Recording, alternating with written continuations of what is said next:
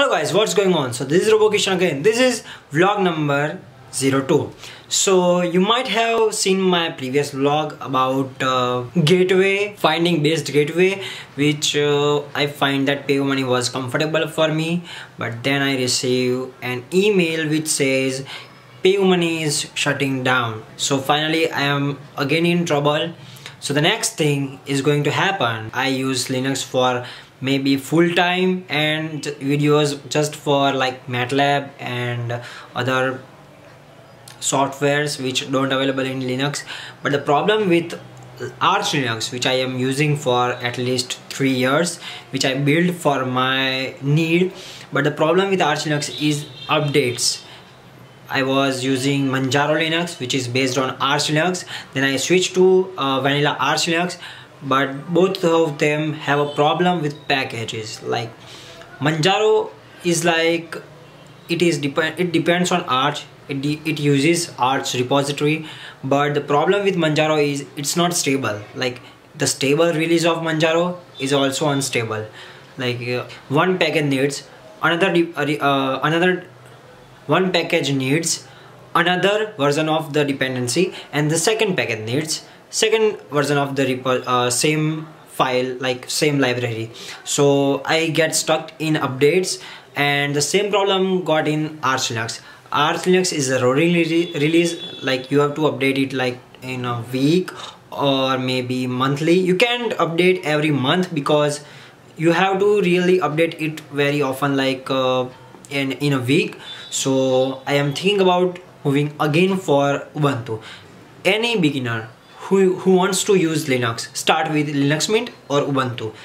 But the problem with Ubuntu is you have to add so many PPA for so many different softwares. Like uh, so many softwares are not available in official repository. Whereas in Arch is it has AUR which is bank of packages. It has lots of packages. You, you don't have to add any PPA in Arch Linux. But the problem with Arch Linux is it's package management. The problem with Arch Linux is rolling release. It's not a problem, it's a feature. But the problem is you have to often update your system.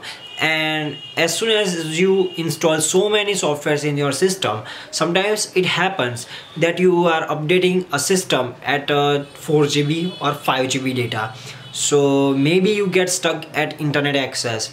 Maybe you can stuck at a disk size like you have to download 5 GB of data and the upgrade net upgrade size is only 5 MB only 5 MB changes are made in your system. But the problem with Ubuntu is sometimes you add some unofficial PPA and you get stuck at the package which are like malicious and or virus like it, it don't Linux don't have viruses but we can say that maybe you you stuck at dependency cycle. What is dependency cycle is like one package need first version of that dependency but the second package needs second version of that dependency. And now two packages are quarreling for one package for different versions. So you get stuck at versions dependency in PPA so you have to find uh, like you have you try to use snaps but snaps are like it, it against of linux rules like you you are using a windows type of things like uh, snap always have dependency in their package but it contains lot of space on your hard drive and that's why there is a the, this is the one of the reason why i moved to linux. Now when it comes to video editing Arch Linux also have Kdenlive, Ubuntu also have Kdenlive, but Ubuntu has lot more stable version of Kdenlive and another thing is when you update Arch Linux if something get broken you have to fix it. This thing also happened to Ubuntu. But Ubuntu guys reconfigured all the softwares for you. So you don't have to like you you, you don't have to spend a night for just configuring your OS after update. But in Arch it's different. You have to configure everything for you so as you can see I am using here Arch Linux but the problem is whenever I type something here the keyboard is very slow response in Arch Linux. Like when I type M it appears lot more delay in chromium. But this USB stick has Ubuntu 17.04 I think I don't know the sub version but it has a 17 version.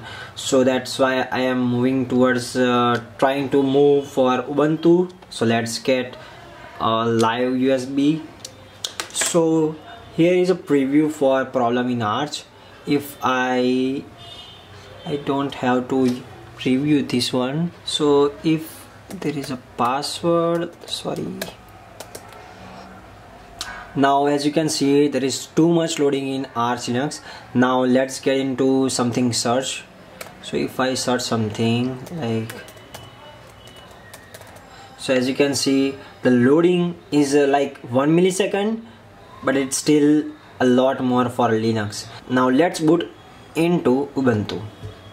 So I have pre prepared Ubuntu live boot already. So I have to just plug it into my laptop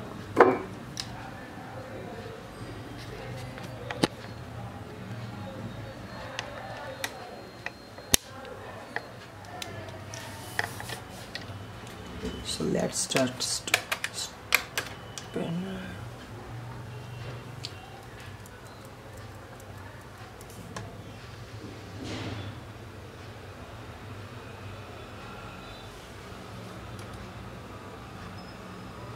So here it is UFI HP pen drive. Now try Ubuntu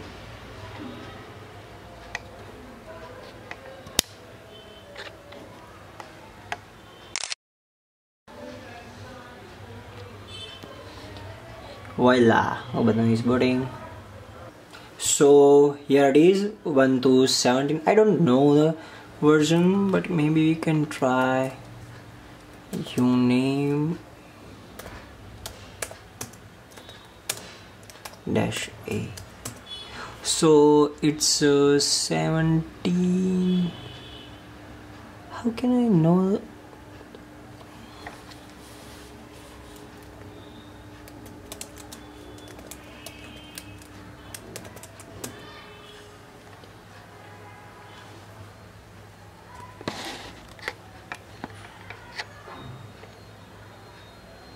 so as you can see it's 17.10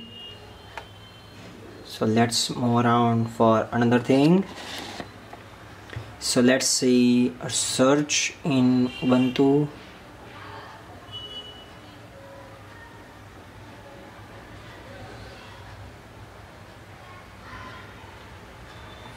Now I have to blur again. Now let's search something so as you can see the delay is like nothing against Arch Linux. So that's the main difference to moving. And another difference is when I try to update it's only I have to only update after 6 or month or maybe 12 month.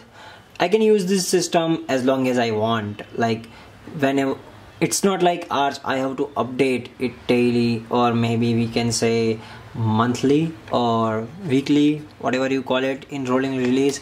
But that's the main difference in Arch. You have to update. It's it's a rolling release. You can't do anything. So maybe you guys now know the difference between Arch Linux and Ubuntu.